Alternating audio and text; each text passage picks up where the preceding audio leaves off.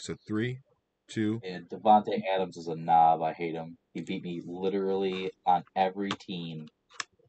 Davante Adams. I. Dude, I was up against him in both the finals. I lost. But what's up, everyone? Tom Hayden here. CPDL playoff week one recap show. We got Jax on. Jax, say what's up to everyone. What's going on, everybody? Hype to recap an amazing week one of the season five CPDL playoffs. Dude, it really was an amazing week. It really was a fucking awesome week of battles. We really got some good ones. And actually, both two guys chilling in here, Angelo and uh KJ, were two of the contestants with a bye. So they got to sit back, to relax, and watch all the battles, Yeah, no they, stress. they didn't even play. Those guys didn't even play this week. Yeah, they, they got to like freaking relax this week and say, ah, let's let everyone duke it out to play us, the big dogs, the top dogs. And they're talking about winning the final. So hopefully we see some upsets, some more upsets. Because, Jax, we got three upsets in the six battles we got to talk about. Let's get into the first one, which unfortunately for you was not an upset. You were the nine seed playing the eight seed KD. KD was able to get the Oh, 2 no, 1 victory. an. It was for sure an upset. I thought he was the eight seed and you were the nine seed. So on paper, I'm He talking. was definitely an upset, though. Okay, definitely an upset though. But I'm talking on paper seating wise. I'm talking like March Madness bracket seating wise. Technically, it was an Oh. upset. Oh no, technically it was not an upset. But yeah, this was a close game. I thought, Jax, I really thought you played well game one. Game two, I was like, oh my god, I think Jax is gonna win at one point. Like 2-0 victory over KD. That's insane. And then KD was able to take it. But what's it called? What really impressed me was in the beginning of game one, KD bulked up that Togekiss, surprise survive a Fishious Rend from uh Dracovish with more than 50% health. It was like the Togepi tanked that Fishious Rend with the Eviolite, with the Follow Me. And then turn two in game one, I thought this was a throw from KD. He used Fissure on his Lando. He used Fissure.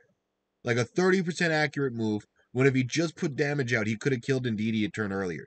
But because he used Fissure, he missed. He didn't get any damage output, which I thought was just way too risky. Like, I thought that was like a throw game one. I was like, what's going on here, man? But if KD does any damage, the expanding force from Indeedee cleans up the Lando and the Togepi. It wouldn't have. It would have KO'd. It would have died a turn earlier. It wouldn't have been able to KO everything, eh, which was in my notes. And then we see Indeedee Male and Primarina come out at this point.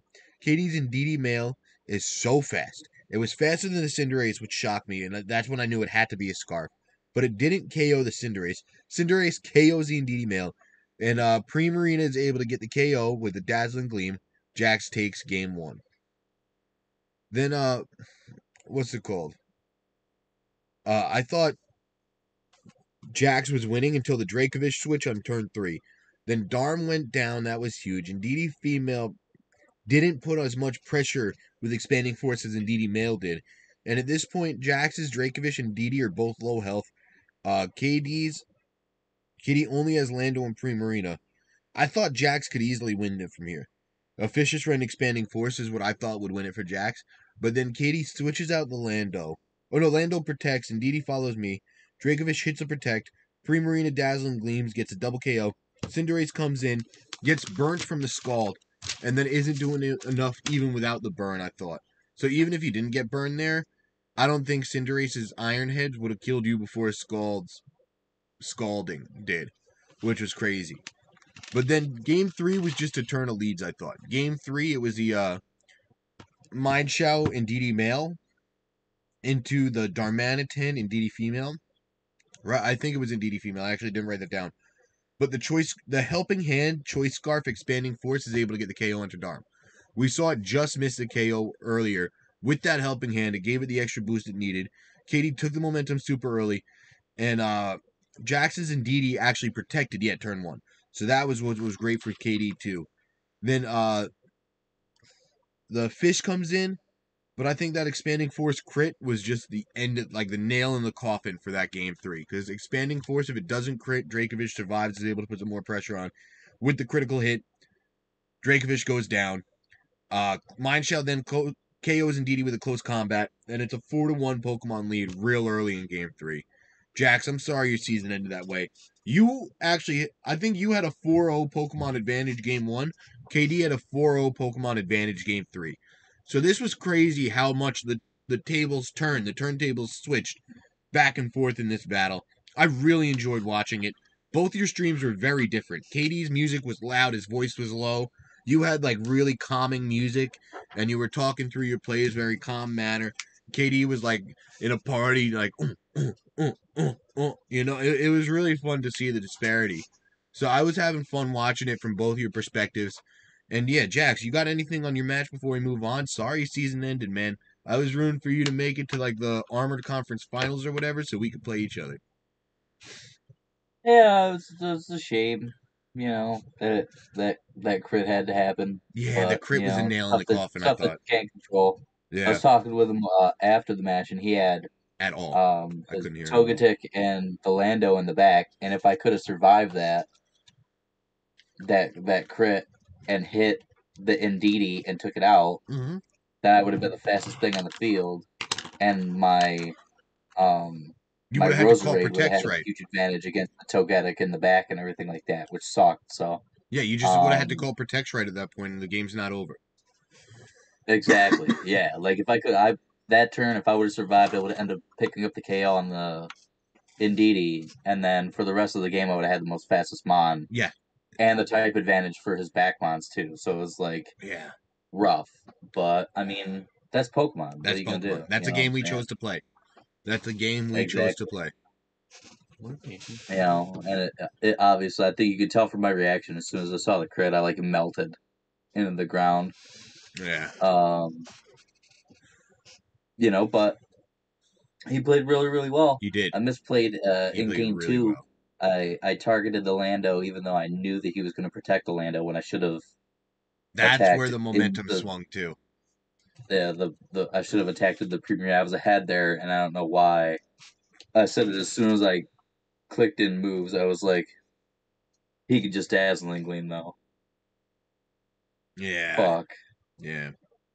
So I went to that. But uh you know, fair play to him. He played really, really well. Really well. And I wish him the best of luck against uh against KJ. Yeah, he's this, got no uh, joke this of an opponent. His, his opponent beat me week one. KJ took the bye week, was able to get one of the top seeds, top two, uh, top seed if I'm not mistaken. I think he was one. Angelo was two. So it's just like KD's no Yeah. joke, but he's Yeah, got was no joke of an undefeated, yeah. opponent. We got the one eight matchup in this one, so I'm excited to see how this shakes out, and uh if KD is able to win next week. But we'll talk about that more in the predictions. And let's get into the next match, which was actually my match. Pengy versus me. And Jax, I'll let you start. This match was was really, really interesting. I just watched it actually uh again a little while ago just to watch Pengy lose again. Oh, that's Um, mean. well, he he did beat you, so I could see why. Exactly. Exactly. he did beat I you. mean, but it was I, I, it was a very, very close match. I just don't I think that you played very, very well with uh the offensive pressure that Yeah, you could put to. on with the Togekiss and playing your protects really, really well with the Blaziken in all three games. Um, he positioned really, really well, like he usually does Yeah. after the game one. Yeah. In game two, to And ensure three. that he could pick up uh the win in game two. Um, was able to to use sludge bomb very effectively against your team, get some pivotal crits as you were able to get some pivotal crits that um was big also for your Togekiss and everything like that. Um I think you almost surprised yourself too game 3 with the win cuz you were like if I just hit this and then get a crit then I win. well, and you like kind of questioned you threw it out there as a question. we were playing on um, Showdown, so I usually hit next turn, but it said skip to end, not next turn. So I got it spoiled for me before I saw it happen. Oh yeah. So that's why I was like, Yeah, cuz as soon as you lock it in, and then that's when I clicked in my head. I was like, I know I get the crit here because I don't kill with the psychic without the crit. right. So I, Yeah. yeah, I questioned it, and I was like, it's over. Yeah, but you were hitting for some for some big boy damage, definitely, with Yeah. that Togekiss. And he, I don't know, I. It was a big thing to do afterwards with, with his reaction to, uh, stuff on social media and everything like that about not being able to prep. I guess. I did what I call eating the garbage, where I was like, you know what, I'm just gonna say something, even though I probably shouldn't. I'm just gonna eat the garbage. And I tweeted like, hey man, you had a lot of time because he was tweeting about it not having enough prep time. I was like, you got 13 days. and I you know, I let him know like, hey, I'm not trying to be an ass. I'm not. Try- I'm trying to be as nice as possible when I'm saying this. He had 13 days. That sounds like poor time management, not a league scheduling thing. And he understood, Yeah. and he was like, "Yeah, no, it just sucked with the holidays because High Roller, they just did it that week, and then the match before to decide who he played was four days late, so he had less time to prep for High Roller. Then this one snuck up. He, he ended up losing both of them. So I feel for the dude because he was like, he, this Pengy cares a lot. Pengy loves playing Pokemon, wants to win as many tournaments as possible. And he's upset he didn't win this one, which I fucking love. I love that passion. I love that energy, and he's a good fucking battler too. So you know, like that's Yeah. why, you know, I can, I hope he comes back next season. If well, I'm not even coming back next season, but I hope he comes back in the future seasons when I'm here too. And what's it called? Uh, is able to put on a show and maybe win this thing one day. And I'm I feel lucky to have beaten him today. Yeah, but my building process really started with the uh Kiss and Liepard support, and then I was like, you know what, offensive Kiss looks good. I slapped a choice specs on that bitch, and was like, all right, I think I cover for everything. And then I was like, wait, choice specs and critical hit, it's kind of similar damage. I ended up going with the critical kiss, which I think ended up being like the best idea I could have had. So shout out Carney Asada for helping me prep all week. Because talking through that process with him is like what got me to critical hit kiss. And I was like, you know what? The damage is so similar. It's worth it. And it was definitely a a good move in the end too because you were able to switch through your moves, and once when the first pre-match uh, screen started and you saw the teams, he didn't have Heatran, He which was huge for you. Because I took And you off even Aura said. I'm pretty sure on stream, you were like, well, since he doesn't have Heatran, this Togekiss kind of goes in. Yeah. And that's exactly what happened. You were able to, because you didn't throw a choice move on it, you were able to pivot in between all the moves that were super effective enough and put a lot of offensive pressure on pretty much both Pokemon. Because Yeah. even though you weren't super effectively hitting that Togetic, when you were hitting because it was crits, you were putting out like solid enough damage to be a threat. Because then at that point, even if he's following me or something like that, you're putting out enough damage to where your other Pokemon, as long as it's not the Liepard, because the Liepard was doing nothing with Nothing. Snarls, Nothing. could put off off put enough damage to where it's taking it out, and then you're getting the Pokemon advantage. So you're putting constant pressure on everything that he has, which was a real key. Like he like he just he could not get the offensive pressure that was coming from that Togekiss off of him enough to be able to to work in that game. So it was, really well done. and yeah, I got really lucky I didn't see Tyranitar or uh Heatran. Because those were the two things that stopped my Togekiss the most. So I was very happy I built this game plan, expect like having to stop those two with other Pokemon, and then I didn't even have to stop those two with anyone because they weren't there. So again, fifty percent of the time it works every time. Scope Lens uh, critical hit Togekiss was really it saved my ass. Six kills in this matchup, man. Came through clutch. I got both psychic critical hits when I needed to. Uh, the only time I really attacked when I needed a crit and didn't get it was on Whimsicott, which is fine because it's a fucking Whimsicott. You know, so a flamethrower if it crits it KOs. I didn't KO, so it didn't crit. And then I want to talk about Destiny Bond Gengar for a second. I did not see that coming at all. I am so happy he didn't test it out in like any showdown games to see if it went two times in a row. Cause I guess like he in that turn where I dazzling gleamed into Gengar's Destiny Bond is really what won me the game three. Cause then he couldn't dazzling a uh, Destiny Bond the next turn, and I was just able to get the KO. You know, so that it, it was a lot of things going in my favor. I'm happy he didn't realize because him and his prep partner told me after they're like, I thought Destiny Bond could work twice in a row. Like I didn't realize it just failed automatically. So I, I'm Yeah. very happy they didn't realize. I did that. because I've used that against or with with people in prep this past season a few times actually. I've put. Destiny Bond on things, so that's really interesting that you said that because I didn't. I found that out the hard way, like week three or something like that. I figured it would have worked like Protect, where it's a roll to work two times in a row, but no, it auto fails the second time. Yeah, because it automatically takes kills a Pokemon that hits it. It it is uh purposely broke up by the game. I like that. I like that a lot. But all right, and then uh, yeah, well, we have a lot of insight on this match because it's my match. So again, with the biases, but I hope you guys don't mind. And then uh, you got anything else on this one though before we move on? I think we covered it very in detail. Yeah, so let's move on to this game. This was our only match not streamed this week. Snom was able to take the 2 0 victory on Matt, our other co host, who is unfortunately not able to join us after the new year at this time. I'm not able to do another time. So I'm sorry. We, we miss Matt very much. And I'm sure Matt wishes he could have some prep time back for this one, man. Because the 2 0 victory, he only got three kills two with Togedemaru, one with Braviary. Snom crushed it with Krookodile getting four, Grimmsnarl getting one, Electric Silvally getting one, and Charizard getting two. So Snom spread out his kills, was able to put on a show this week. And uh, good for Snom getting the victory. I'm coming for you, Snom. Snom's actually one of the two moderators I have on this channel, too. Nothing but love for Snom, but he's the opponent this week. I, I really want to take him down and make it to the third round of the playoffs. But uh, Jax, yeah. what do you got on this one? Uh, I was talking with, with Matt briefly uh, after this, and he said he had Matt had some bad switch ins. Yeah. Um, it did damage that Snom was doing. Snom also had a risky uh, play hitting Braviary with the the electric Silvally um, multi attack from the Silvally, while Togedemaru. uh, Togedemaru was still on the field with the lightning rod, but, but he, he had switched... switched it out. So he ah. took the lightning rod out the turn that multi attack happened. So it must have been a great read from Snom to be able to take out the Braviary. Braviary being um, Matt's main um, offensive threat. Um, that that match, um, oh well, one of his well, it, his main offensive threats. So if you look, um, some switch ins, and he tried to use uh, a will o wisp in misty terrain. Oh. Unfortunate oh. for Matt to uh, early on in the match.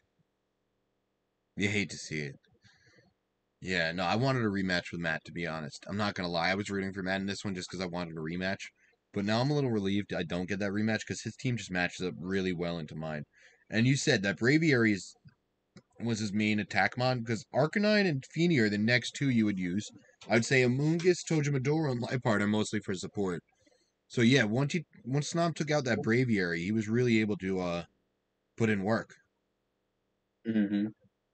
And electric yeah, um, the the predictions that he must have had on on switches because I know Matt in uh in prep, me and Matt Matt was switching a lot. Um, yeah. which it's it's funny because all of Snom's Pokemon, half I had on one team and half I had on another team. Oh, like even so I had this prepared. electric Silvally and everything. He was prepared. so it's like he combined the best parts of both teams that I had prepped Matt with, and Matt was switching a lot. Um, yeah. But he just must have predicted the the switches really really well. So uh, well done to to Snom to pick up a 2-0 victory and uh, advance in the playoffs. Yeah, I can't wait for my match with Snom Sunday 5 p.m. Eastern, 2 p.m. Pacific. I'm fucking excited. All right. And do we got anything else on this one before we move on to the next one, Jax? Nope.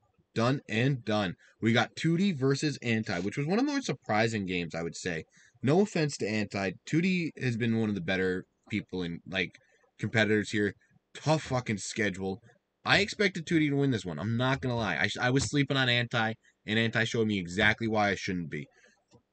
Fucking came out swinging. Game one, we see Tootie go Metagross Suicune into the Indeedee Klinklang lead, and Anti did something I didn't know Klinklang could do in Trick Room. Klinklang set Trick Room, which shocked the f- out of me when I was watching this on the Showdown replay they sent. I had no idea got Trick Room.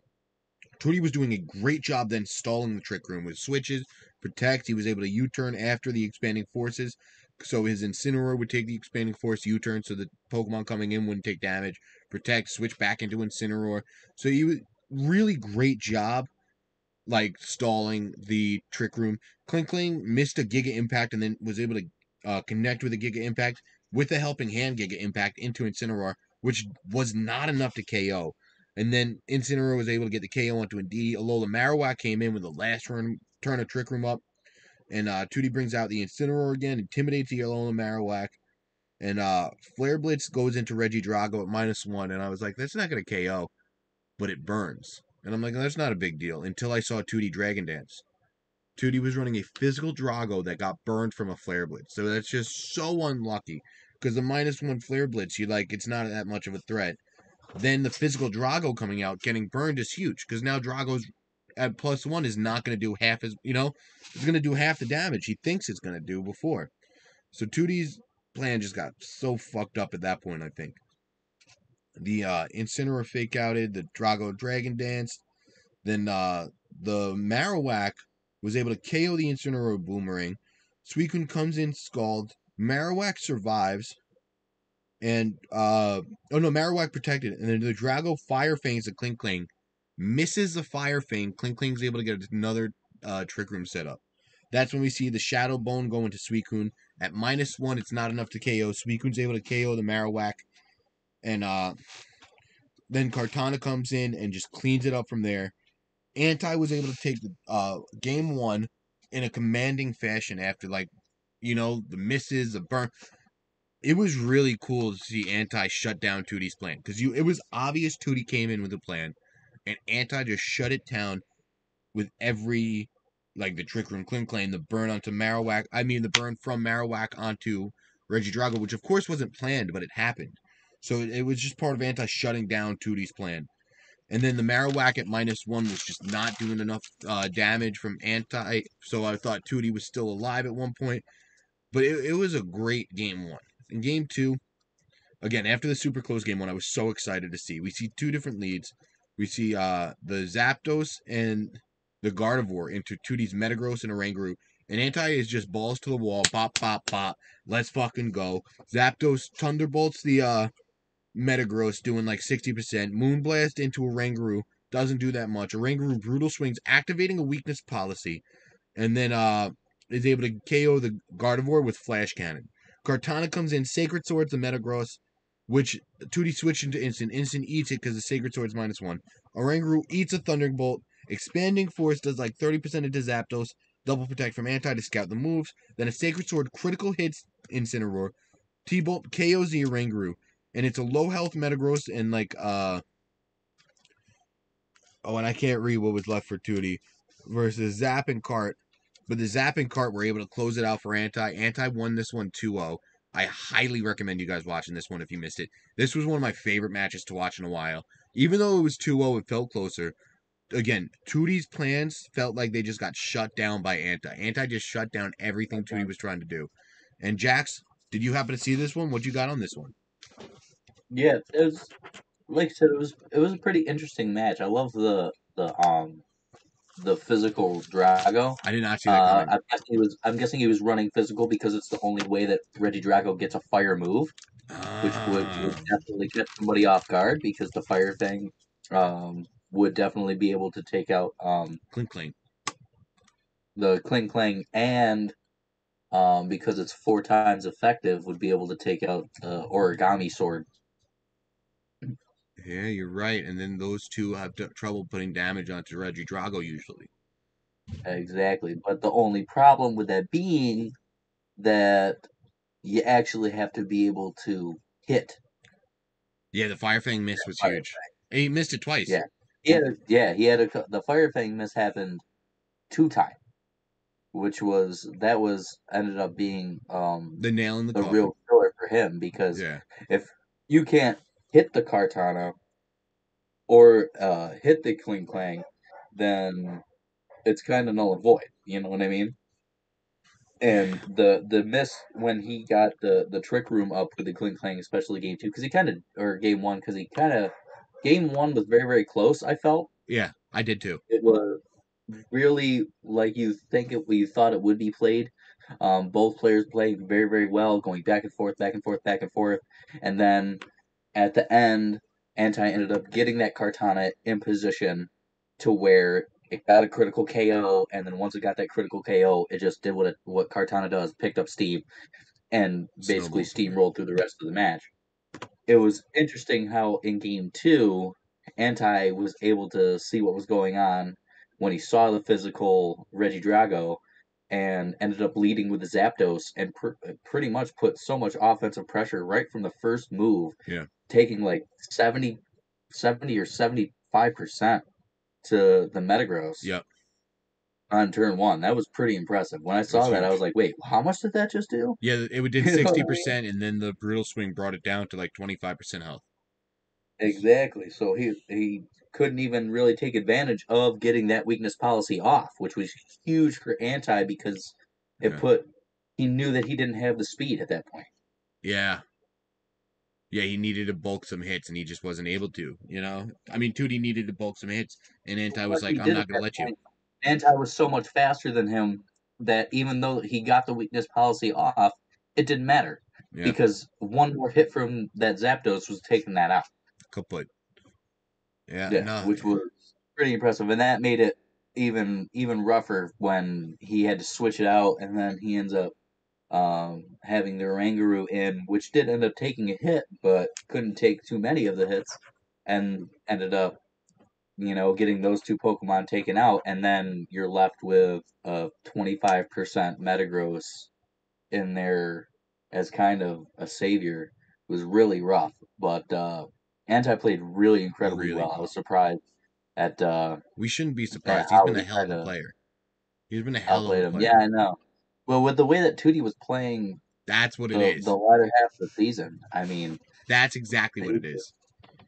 it, it came down to to making the right calls at the beginning of each game, and Anti did it. And you know, One hundred fair play percent. to him. He he like one hundred percent ended up kind of crushing it that game too for the 2-0 sweep. I love seeing Anti use that Kartana inside and outside of Trick Room very well. He was like, even if I don't outspeed the Metagross in Trick Room, I'm still gonna Night Slash it, do some big boy damage. You like he Sacred Sword outsped outside of Trick Room. So like that Kartana was doing damage inside and outside of Trick Room, which you don't see often. Usually like a, Yeah, and when it was outside of Trick Room, wasn't it slower? no, it was faster than Metagross outside, slower. No, I don't know. I think it was faster outside and faster inside. But it was slower than the Suicune or something Yeah, it was like a. because it- was going first. I think it So it was faster. It was faster than the Metagross, but slower than the Suicune to be able to use it in Trick Room. We got to look up those uh the speed stats and everything. We're asking Anti another he day. have. I, I'm not sure, but I think he may have undersped the Regidrago too Oh in TR. Yeah, I think It might did. have been set up to specifically underspeed Regidrago to do damage because I'm pretty sure it sacred sworded the Regidrago to take its health down so that it couldn't um, dragon move, dragon energy for a lot of damage. So I think it undersped some of uh, Tootie's Pokemon specifically in Trick Room. Dude, so such cool prep from Actually, Anti. anti Such cool prep Yeah. from Anti. You love to see it. But the, it, it, that also threw me off when I was watching it because it was faster than certain Pokemon and slower than other Pokemon. Yep. So that meant that it would be faster than certain Pokemon in Trick Room. Like in Trick Room, it would have been faster than the Suicune, so it would have been able to outspeed the Suicune Leaf blade, and Leaf Blade to kill it. Oh, dude, this was really, Really well prepped. Really well prepped from Anti. And again, shout out to Tootie for the amazing season two. Shout out to Anti. Good luck next week versus Angelo. No joke. And then, uh, do we got anything else on this one before we move on to the next one? Nope. Done and done. We got Turtle versus Pops. Turtle was able to take the 2-0 victory. I thought this one was closer than it's like the 2-0 says it was. And Jax, I've been talking a lot, so take it away, my friend. Yeah, I think this game actually it it seemed closer than it really was. Turtle dominated, Uh, actually, now that I'm looking at my notes. Yeah, Yeah. Tur- Turtle Turtle output a lot. You know, he kind of handled the he had the Morpeko, um, handled in switching out and switching in for fake out pressure really really well. Great use of the fake Um, out pressure.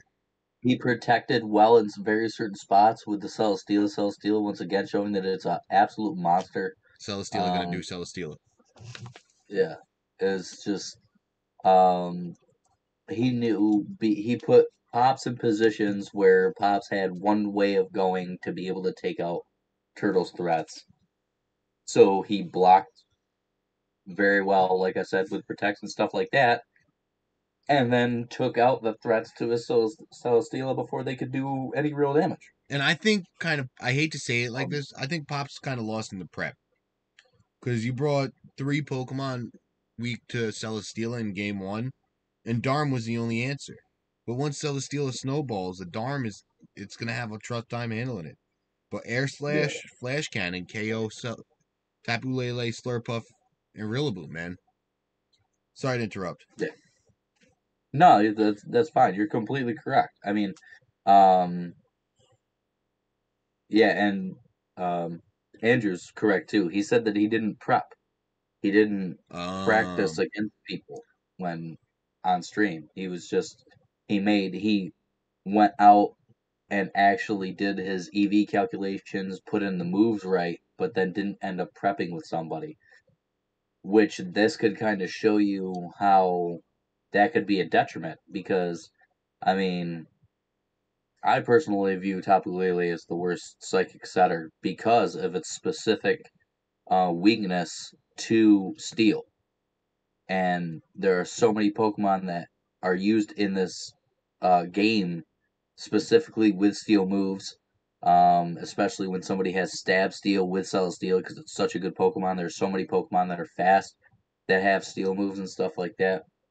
You really have to use it specific sort of ways, and to bring po- multiple Pokemon that have an adverse effect when it comes to steel, like you said, it puts you kind of in a bind. You have to play really, really well. And Turtle was able to put himself in situations where he's using that Celesteela safely.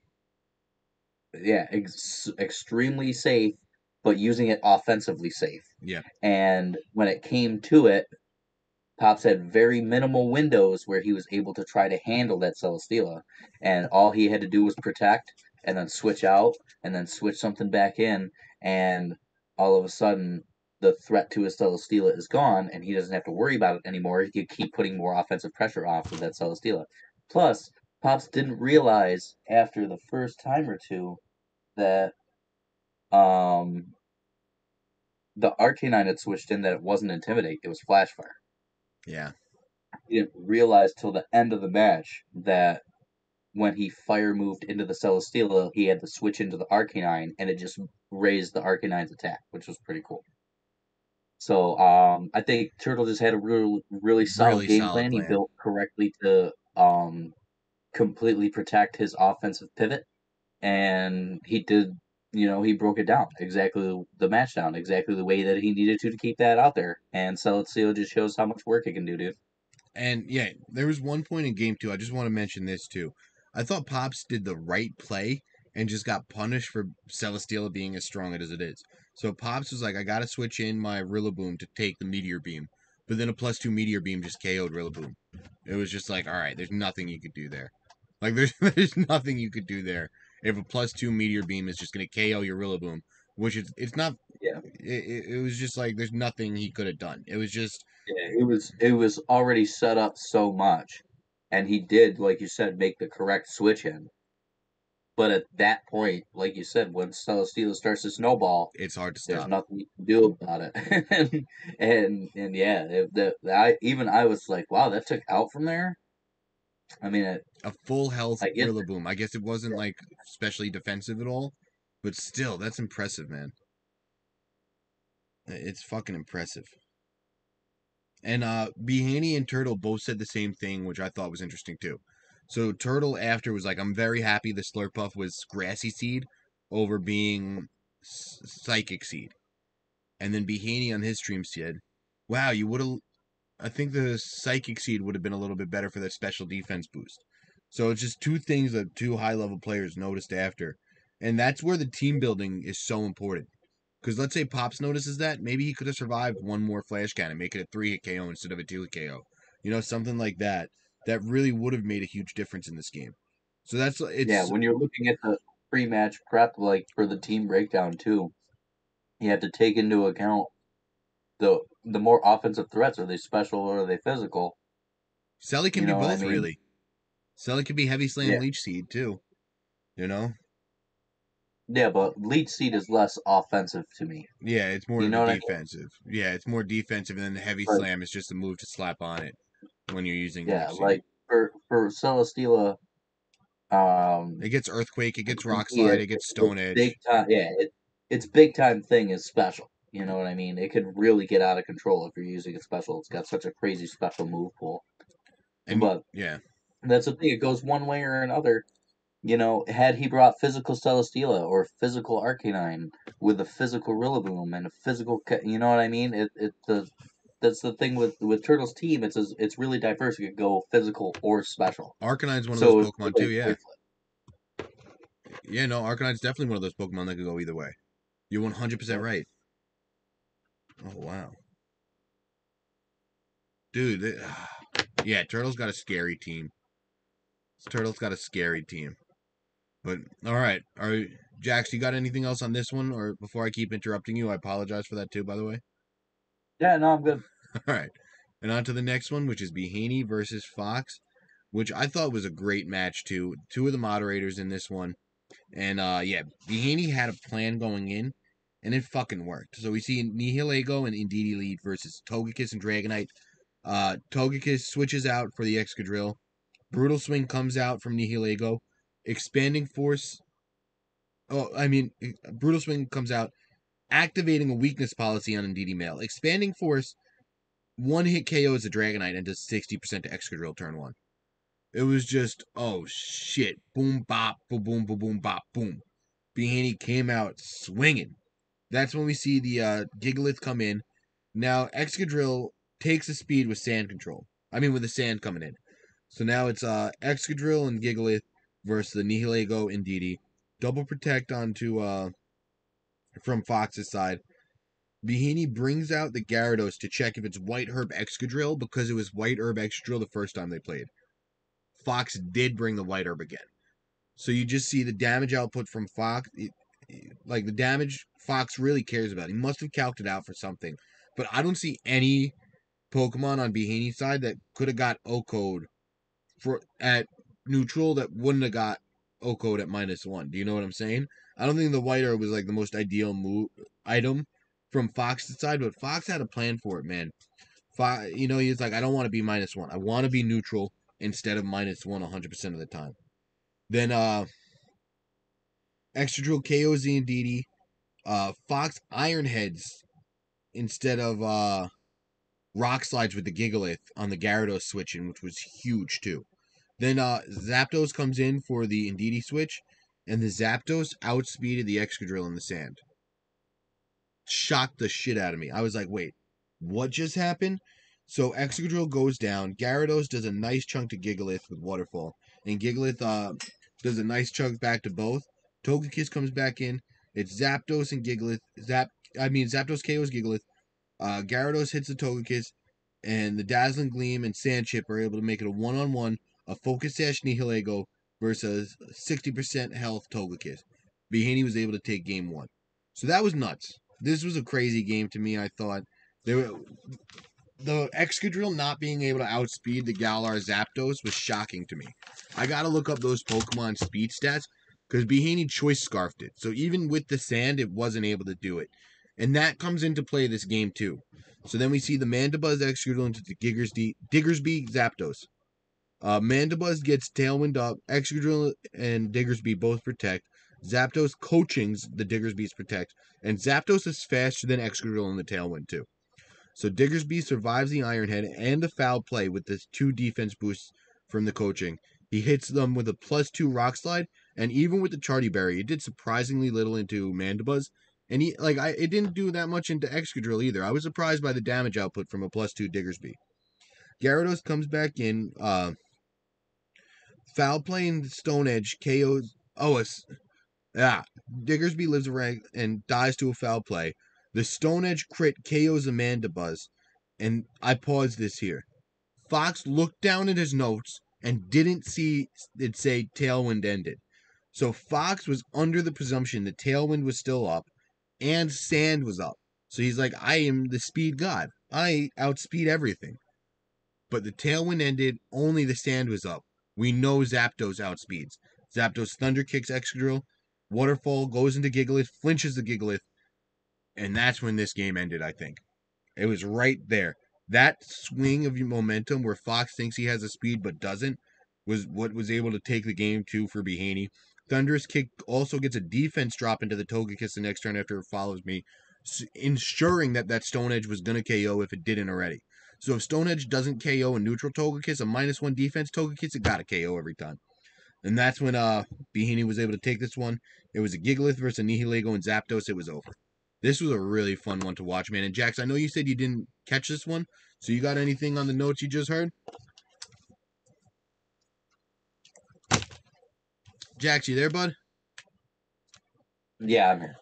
Um, nothing other than the fact that unless Excadrill has at least, I think it's, uh, what, 44 EVs in its speed, Galar Zapdos outspeeds with a timid 252 Choice Scarf. So that was, had to have been what it was at to outspeed in sand. Wait, so Excadrill needs less than 44? Needs at least 44. What's Zapdos' speed stat? I know Excadrill's 88. 100. Oh, okay. Excadrill, Excadrill's 88, 88, Zapdos is yeah. 100. So at 252, timid nature or jolly nature, whichever one, uh, Excadrill needs at least 44 EVs in speed to be able to speed tie. So it Mm, was probably not speed invested. It was more like bulk and attack invested. it had to be because the Zapdos Yeah. was Choice Scarf too. So Crazy. um, interesting, interesting, and and once the that match goes on and you find that out, that's huge information Huge. to have to know that that Excadrill doesn't have speed EVs in it. It changes the way Behaney approaches the game, I think. You know, and Fox, Yeah, for sure. and, and the white herb would lead you to believe it's not invested in speed too, even before that. White herb makes me think it's more an attack, like bulky base too. So it- interesting team build from Fox here. I don't know if I would have went with the white herb Excadrill two times into Behaney's team, but Fox knows what he's doing, and he thought the white herb probably helped him more than any other item, which is like cool to see because you know that's not again one of the items I really consider on Excadrill a lot. Me being the other Excadrill owner. So this was a cool one to see. And Jax, you got anything on this one before we move on? This is the last match of playoffs, week one. Uh, no, just uh, well played by Haney, and Yeah. I love the uh, the weakness policy Indeedee Tech Loved it. I absolutely loved it. And let's MVP style. Yeah, but it did not get Pokemon Kill Leader. So we took out Pokemon of the Week because there's just too few Pokemon. So the Pokemon Kill Leader, I'm going to do like Pokemon of the Week, I decided. Instead of listing out like the six Pokemon that got a couple of kills, we're going to just give it to the top dog. But the top dog happened to be two top dogs. And they both happen to be flying types. Turtle Celesteela and my Togekiss both got six KOs this week. Shout out to me and Turtle making the kill leaders list.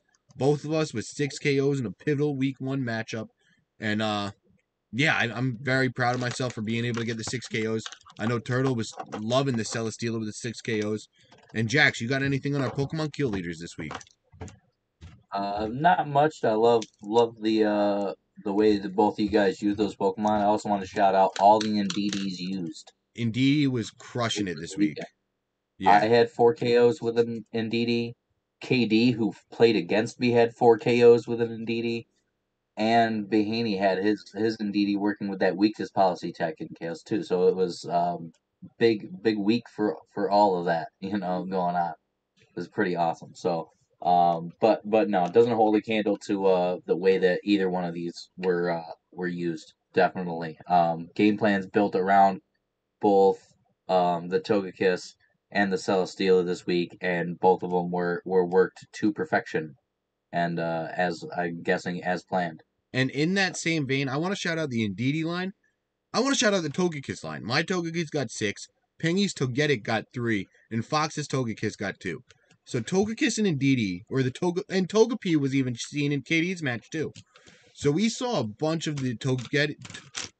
I don't want to see Indeedee next week. Yeah, so we saw a bunch of Indeedees and Togepis running around muck this weekend in the playoffs. So that's something to note going forward in the uh, this format of draft. Really cool to see all these Pokemon shine, man. And uh crazy that it was all the same family of Pokemon too in the draft where it limits the amount, you know, which Pokemon could see. We're seeing a lot of repeats, which is really cool to see how strong some of the Pokemon ended up being in this format. For in this format, especially, I mean, Celesteela is good in any format, I think, but uh, in this format, especially, the Togekiss line and the Indeedee line were incredibly strong. Yeah. All season. Yep. Like honestly, all season. I know the Indeedee for me was my kill leader. And it's On indeed female, team. not even the offensive one most of the time. Yeah, yeah. I used the the bulky one that that gets follow me and stuff. And it was just uh, it, it it's an incredibly versatile and especially underrated mod, I, I believe. I I believe so too, and I have a much different respect for it now than I did before this season, seeing it outside of Dynamax too. But I think that's it for the playoff week one matches. Let's get right into the playoff week two matches. We only have four matches to go over, Jack, so let's get right into it.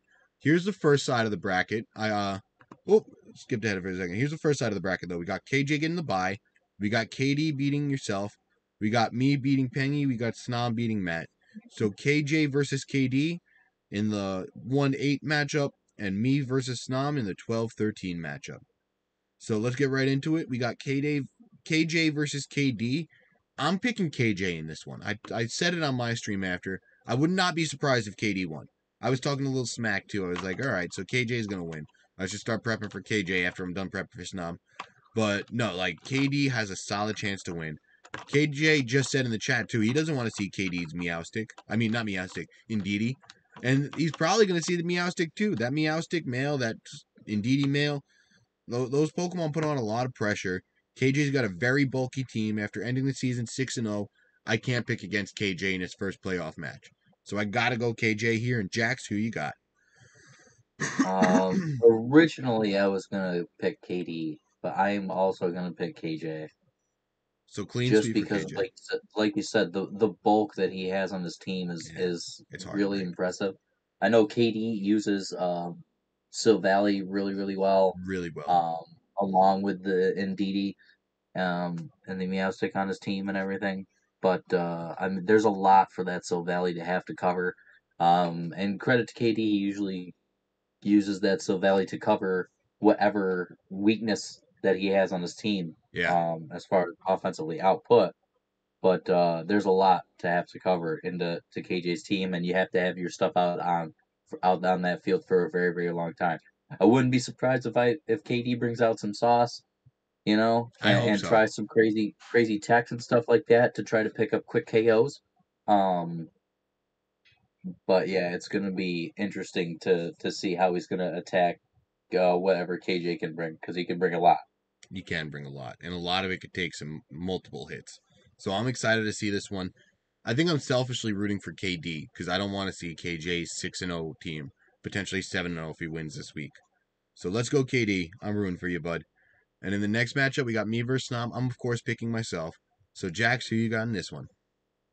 Uh, I'm also gonna end up going with you on this one. Um, Snom's had a roller coaster ride of a season. Yeah a lot of ups and downs. You know, he loses two, wins two, loses, wins, stuff like that. So, um, his he's got a team that has a really interesting composition. Very as interesting. far as what what he can use. Uh, although I know from from using it to prep with Matt that it actually is more synergetic than than it looks on paper.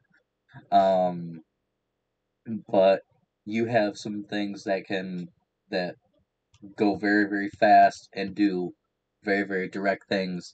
And you also have stuff on your team that can can switch what they what it actually does. So um it's going to come down to pretty much what you're bringing and you know what he what he uh, how it does with what you know ha- handling what Snom brings because we all know Snom thinks outside the box the way that he does things. I'm excited but, to see uh, which six he brings just in my yeah. early stages of prep, I'm like, I I've really because I I'm I started prep literally like a little bit last night. Oh, Tom's gonna win it all. I hope so, man. I fucking hope I win it all. I started prep looking at it a little bit last night. Like, all right, I could do this into this lead, this into this lead, but it really is dependent on which six he brings. So I'm excited to see he's really switched up his Pokemon well. He's brought yeah. look at all the numbers. You know, like he, he's brought all his Pokemon a couple of times. I've yet to bring Thwackey, Stoutland. I brought Blastoise for the first time now that I just got it after the, you know. So there's a lot of stuff that I'm excited to see what he brings, and I'm excited to see what I end up bringing too, because I really don't know yet. So this is going to be a fun one. Yeah, it's it's definitely going to be a fun match to watch. I Sunday 5 p.m. Eastern, and let's get into the other side of the bracket. So we got Angelo who got the bye, Anti who beat Tootie, Turtle who beat Pops, and Behaney who beat Fox. So we have the two seed playing the 10 seed and Angelo playing Anti. And we have the six seed Turtle playing the three seed Behaney. Oh my god, the I'm glad I'm not on this side of the bracket. You know what I'm saying? Yeah, that's a thick side of the bracket, boy. Only one upset on this side, which was anti over uh, Tootie. And uh, yeah, on this side, I, I forgot to mention me and Snom both upset our opponents. Snom, the 13 seed, beat the 4 seed. Me, the 12 seed, beat the 5 seed. But yeah, in this one, the only upset was a 10 beating the 7. And then the 6 and the 3 seed both were able to take the spots.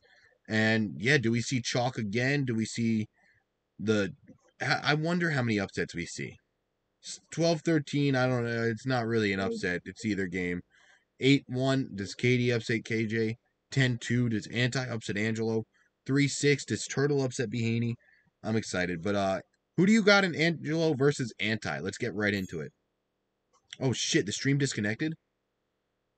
Yeah, you're down. Oh no, I'm sorry everyone. So I got the YouTube recording still. Oh, it's buffering.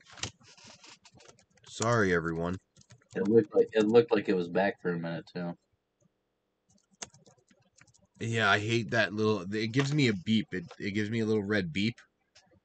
It, it pops up red and then it beeps, and I'm like, "Fuck that noise." So once I heard that noise, are we back? No, it says reconnecting again. Yeah. Yeah.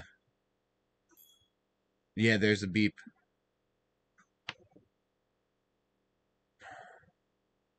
I'm sorry. So yeah. Jax, they're gonna hear us loud and clear in the YouTube recording. So that's still gonna come through on YouTube. You know? Alright. Yeah. So Well, uh do you want to keep going? yeah, no, we absolutely want to keep going. So sorry Alright. everyone watching live. We're gonna keep it going. You didn't miss anything. It'll be without pauses on YouTube. All right. So yeah, we we're 51 Um, minutes into the recording, but who you got in Angelo versus Anti?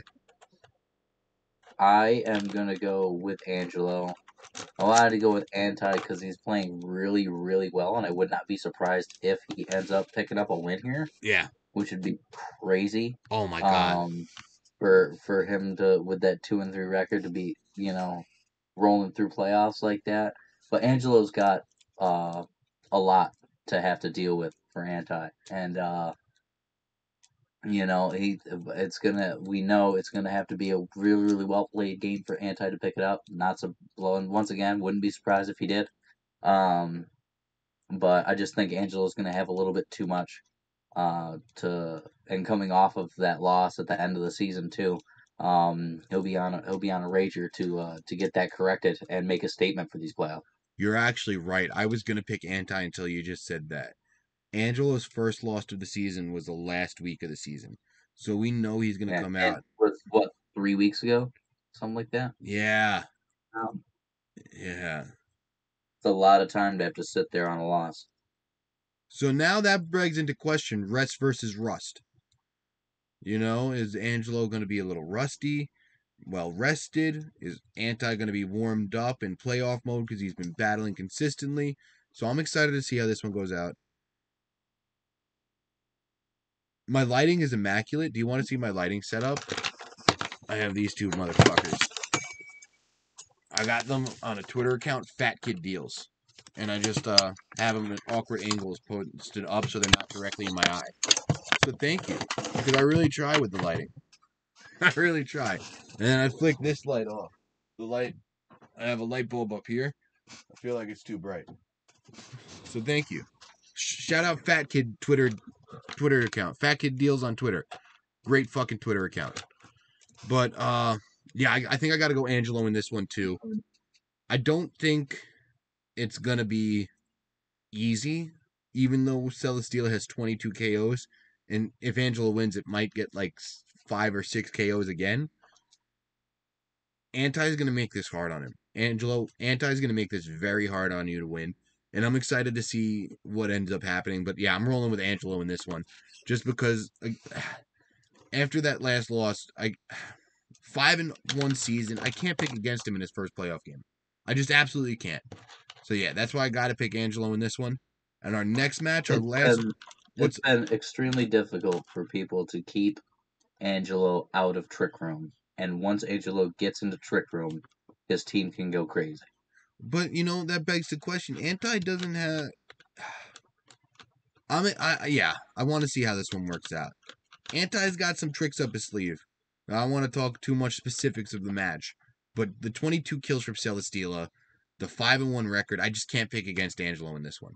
So all right, the last match of the week, uh, we got Turtle versus Behaney and Jax. Who do you got in this one?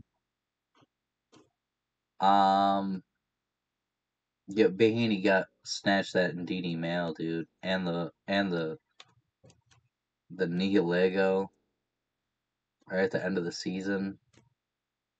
And we saw him use one of those plans. He, you know, those two Pokemon came into play big time for his Fox. Yeah. Oh, this is really tough. Both these guys play really, really well. Turtles team is fucking good, man. It's fucking good. Not saying Behaney's team isn't, but I feel like Turtles got one of the better rosters in this entire. I'm gonna go. format. I'm gonna go with Behaney though because Turtle has made mistakes. Hmm. He's made like small mistakes, but he's made mistakes. And Behaney always Admittedly, by him on his own stream. Yeah. Like the first two weeks, he said that he made mistakes. He made mistakes playing um, other weeks that I had noticed. And if you make a mistake against Behaney, he makes you pay for it. yeah. That is one thing that Behaney is the best at doing. That since I've started watching him play, is if you make a mistake and he's there, he's gonna jump all over that and pull out wins because of it. So I think that I just think that he's he's like the Patriots. You make mistakes and he capitalizes off of them to win. I'm seeing ghosts You out there. Coach Sam Darnold. Yeah, he may he may not he may not be the best at the beginning of it. His game plan is just really steady. You know what I mean? And he shows up But in the wait- playoffs too. That's a, He waits for you to mess up, and once you mess up, that steadiness takes over, and and it's your downfall. So I'm I'm gonna go with Bang on it. and he's made the playoffs every season I've been a part of the CPDL. He was like really close to that bye week. And I'm picking against him. I'm picking Turtle in this one. I think Turtle is going to pull the 6 3 upset and be able to play Angelo or Anti in the Crown Conference Finals, I believe it is, right? Yeah. Y- Yeah, Crown Conference Final. I don't know. But the Crown, I, I think. Oh, no, we're out of divisions and stuff. So Armored and Crown, it's just Eastern and Western Conference Finals, I guess. But yeah, no, I. I think I'm going Turtle in this one. I think I'm going Turtle in this one. I hate picking against Behaney. I usually just do it in the regular season to uh hedge a little bit against everyone else. You know, because I think everyone else to win the recap show prediction giveaway, I want to pick against what everyone else is going with, and Behaney's usually one of the chalk picks. So if he gets upset, then I have a better chance of winning the box if I pick again. You know, that's my mentality with the regular season. I think I'm picking against him because I think Turtle's team is fucking strong. Prepping against it was not fun at all. I did not have fun Turtle week prepping against him. you know, when I played Turtle, it was not a fun week. So yeah, I think uh I think Turtle's gonna be able to get it out and play Angelo or Anti for the uh in the Elite Eight or in the top in the top four. Yeah, in the top four is next week. Oh my god. So yeah semifinals next week. in the semifinals. So yeah, the season's coming to an end. Sorry everyone for the stream uh, issues towards the end there. Good luck to all our competitors. Follow at CPDL12 on Twitter. And thank you again for coming out if you came out and watched this. This will be posted on YouTube sometime. I've been really bad with the YouTube uploads recently. I, I got to go in my uh, videos and just like organize all my videos and upload the ones. I play Snom Sunday, 5 p.m. 5 p.m. on Sunday. So I'm excited. And uh KD, I know you're gonna be anxiously waiting that match. When do you play uh KJ? Because that's actually important to me too. That's when I'll know if I win who I'm playing. So I'm very curious about the KJ KD matchup. They're very curious about my matchup. So I'm excited to see how this all shakes out, the CPDL playoffs. Season five. I'm curious about everyone's matchup. Yeah. Yeah, I'm more focused on my side of the bracket right now. I'm not gonna even gonna lie.